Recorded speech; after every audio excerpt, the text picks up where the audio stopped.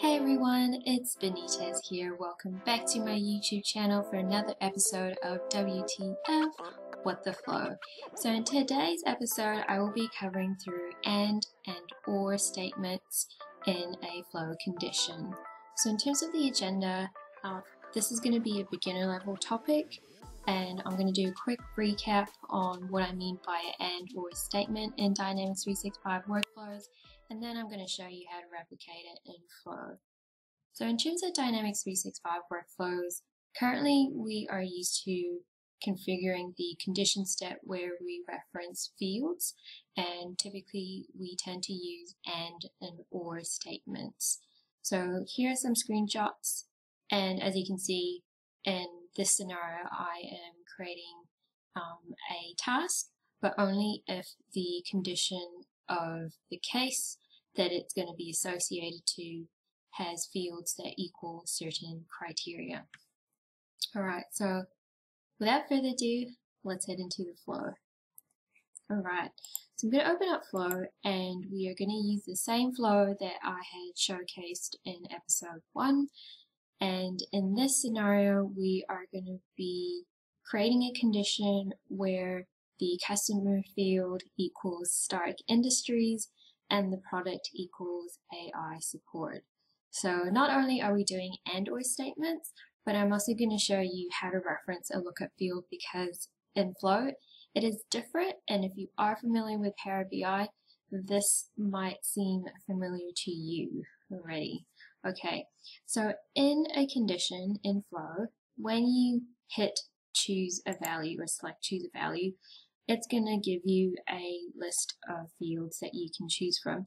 Now, depending where you are in the flow, what you see in here will depend on the previous steps in the flow, if that makes sense. So because I am in this step, it knows that it can only pull through fields from this step in here, which is which is the trigger step.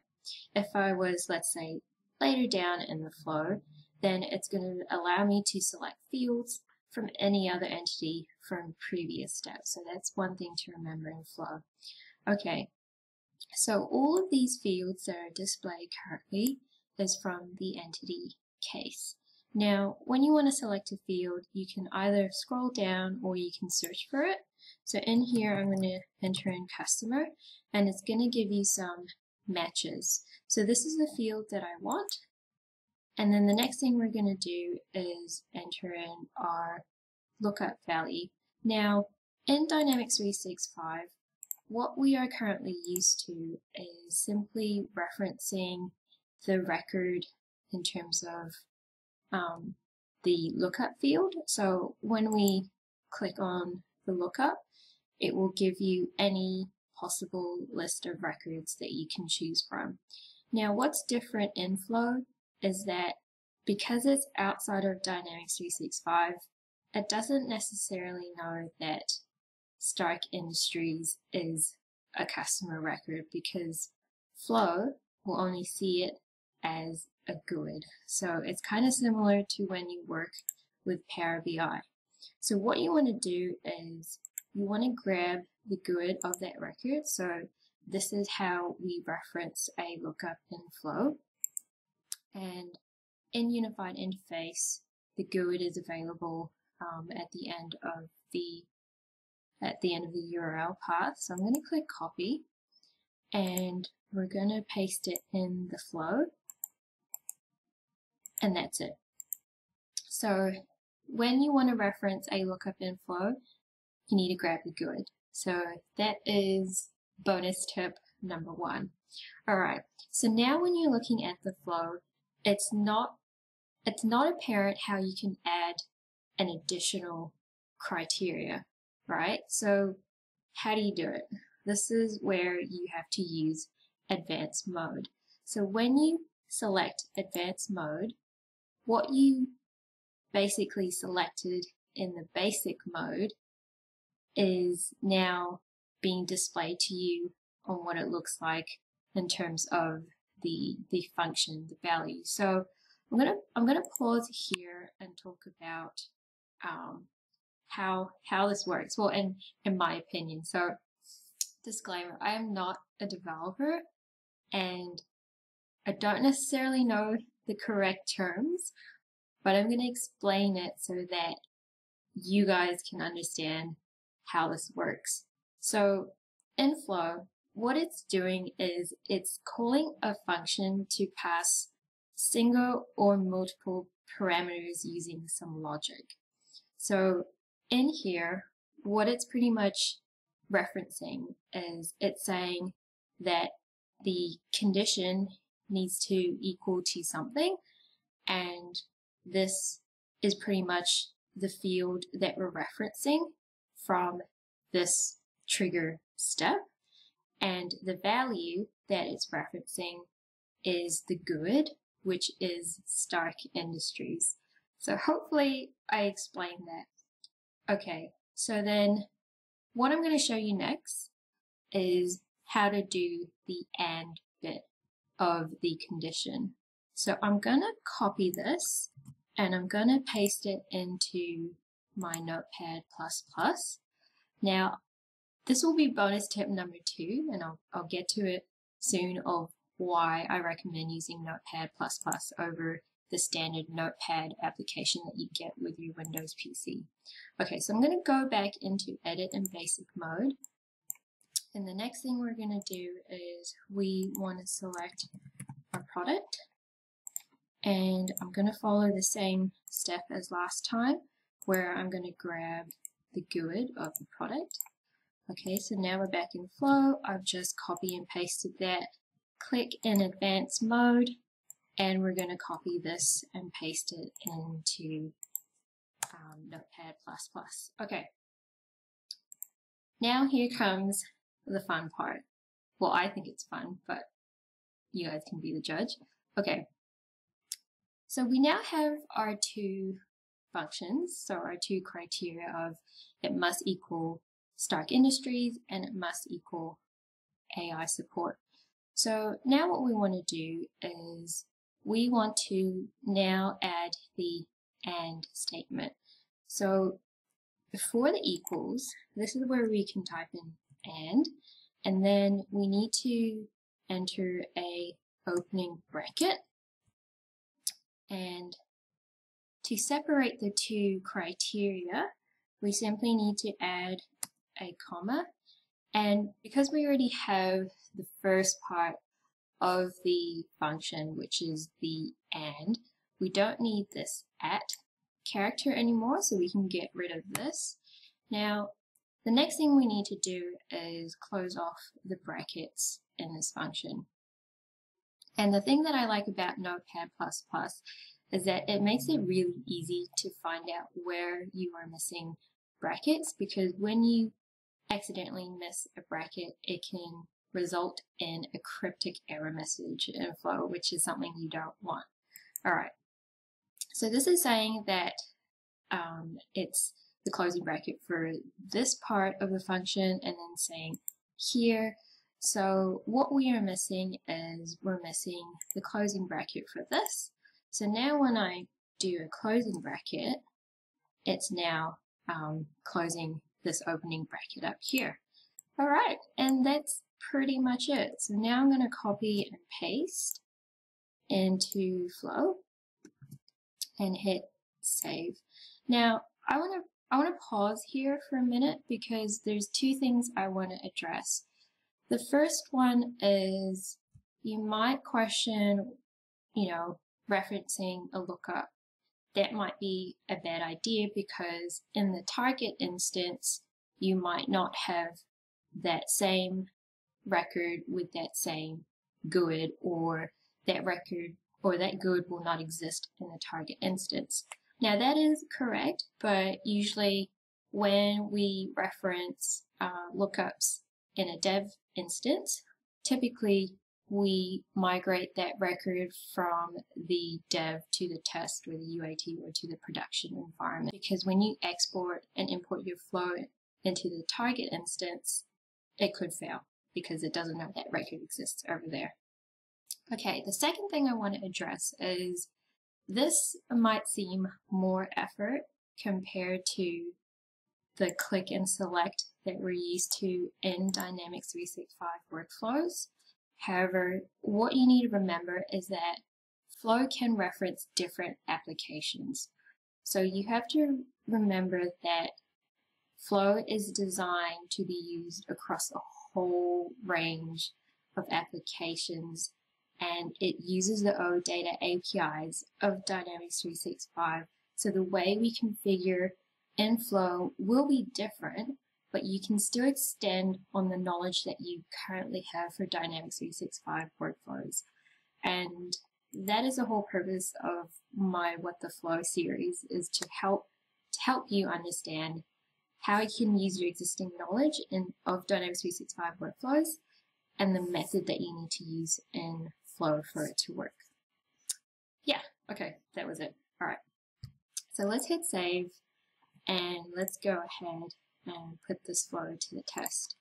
Okay, so I'm back in Dynamics 365 and I'm in my unified interface and we're going to go ahead and create a case.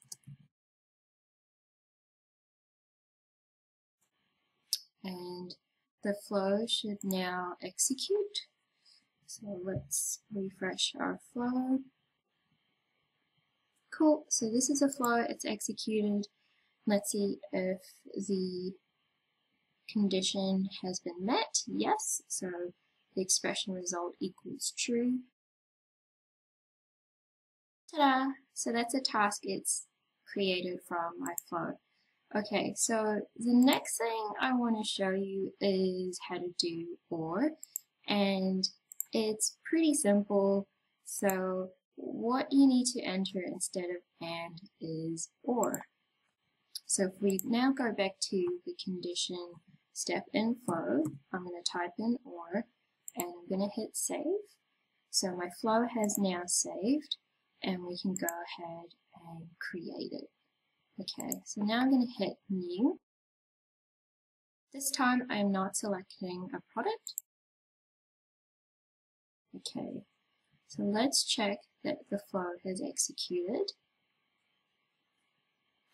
And it has. And the expression result should be true. Yes. And now, when we do the refresh of the case, yes, ta Okay, now the final thing that I'm going to show you guys is doing the group combination. So when we're configuring in Dynamics 365 workflows, what we tend to do is we tend to use the group or function so this time I'm saying I want the customer to equal Stark Industries and if the product equals AI support for Iron Man armor, then we want that task to be created. So what I'm doing right now is I'm configuring how I normally would in Dynamics 365 when I want to achieve that type of condition. So I'm grouping my product criteria as OR, and then I'm combining this group OR with a group AND statement. So how do we replicate that in Flow? Well, this is what I'm going to show you. Okay, so back in Notepad++, um, the first thing that we want to do is we want to get rid of this bracket and we want to do another another entry of the criteria. So what I need to do is I need to replace this with the GUID of the Iron Man armor product. Okay, so I'm to paste this into here. So now that's the GUID. And so what we need to do next is group these two as OR statements. So how do we do it? Very similar to how we do the AND, but without the at character. So this time we type OR and then we do an open bracket. And as you can see, there is no closing bracket for it.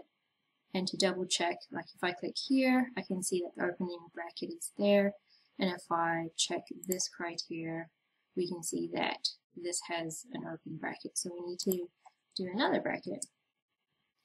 Okay, but then the other thing that's missing is that this guy is also missing a bracket.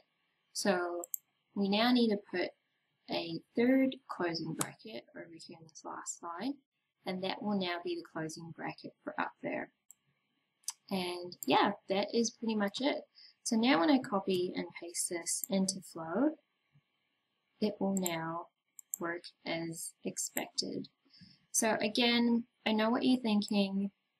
You're thinking that, wow, this is way more effort than what I'm used to when I configure in Dynamics 365 workflow. But again, you need to remember that Flow is a different platform and the way you configure in Flow, of course, will be different because of how it uses the OData APIs of Dynamics 365. So once you learn those methods, you should be fine. And so hopefully after my vlog series, you're going to be a pro. Okay, so now I hit save. And now let's go ahead and execute our flow. Let's try and trigger it. Okay, so this time what I'm going to do is um, we're going to select the Iron Man armor product. So I'm going to hit save. And this time the flow should execute because I've now added that group or statement in my condition. And hit refresh. Ta-da! Okay, let's have a look. Fingers crossed. Fingers crossed. Okay. Wow, that looks good. Okay. So now when I go back into my case and we hit the refresh, you should see the task. Yes. Self high five.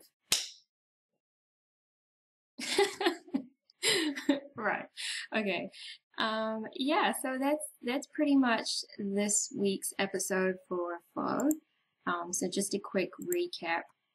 What you need to do is you need to make sure that you select edit in advanced mode and what I showed you in terms of how to first understand what you need to copy and paste is grabbing your criteria in basic mode and for each criteria you copy it into Notepad++.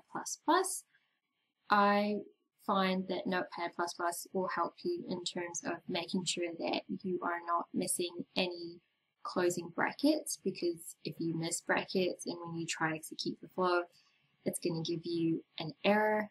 Um, and the other thing that I showed you was how to reference a lookup so in Flow, you need to grab the GUID of the record. And remember what I said about making sure that this record with this GUID is in your target instance because if you export and import your flow into the flow target instance that is connected to your Dynamics 365 instance or CDS instance, um, and the record with that GUID does not exist, it's not going to work. And yeah, I hope you learned something today and I will see you in the next episode. So please make sure you subscribe to my YouTube channel and I hope you're starting to feel the fun and the excitement of flow from watching me help you learn how to flow rather than have your what the flow moments. Alright, I'll see you next time. Bye! Turn up. Let's, let's go.